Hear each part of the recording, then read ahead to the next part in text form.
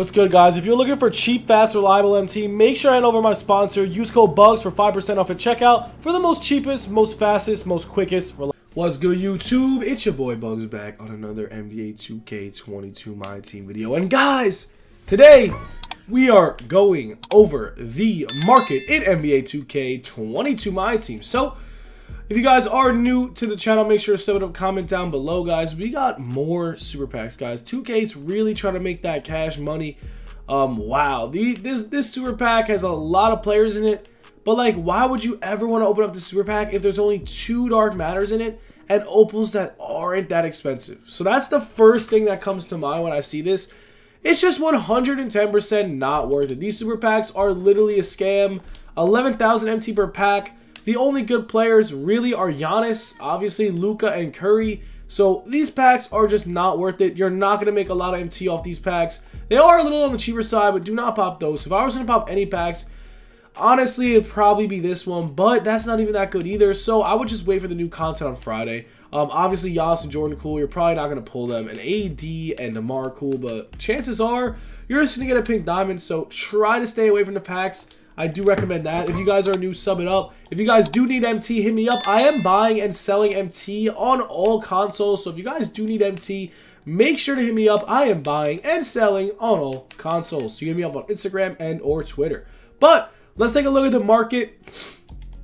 See what's going on. As you guys know, I stepped out a couple opals the last couple days. See what's going on with the pink diamonds. If people actually do pop these packs, these pink diamonds will fall crazily down in price. But as you can see, man, not a lot of people are popping these packs. Um, these pink diamonds are already non-rare whatsoever, especially all these dynamic rating cards, they're super not rare whatsoever. So, if you see these pink diamonds at around 4k, it means the market's not crashed and it's going to be way harder to snipe and way harder to make MT. So, that's step number one. Dynamic ratings, you stay away from them. You will not make MT with them. You will just lose your MT.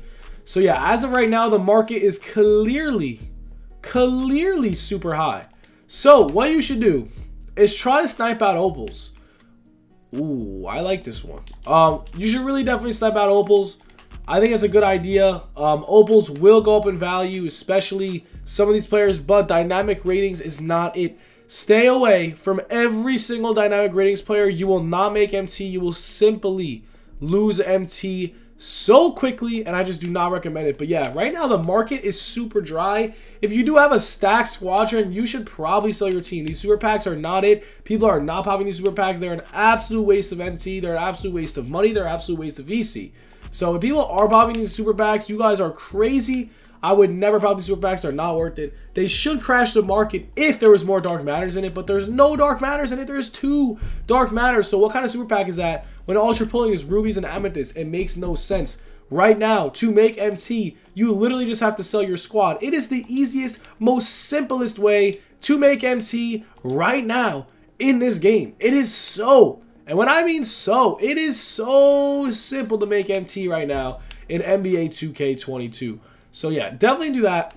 Let me know if it works.